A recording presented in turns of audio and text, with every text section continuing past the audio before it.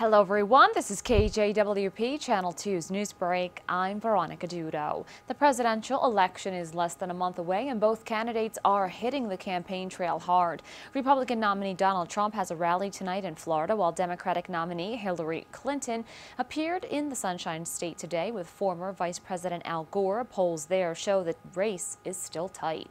An accident near Newark today injured two people and closed two northbound lanes of I-95. One person was flown to an area hospital. A first responder also sustained a non-life-threatening injury while responding to the crash. Samsung has announced that it is discontinuing production of Galaxy Note 7 smartphones permanently. This comes a day after the company halted global sales of the dangerous recalled devices. For more on these stories, visit DelawareOnline.com.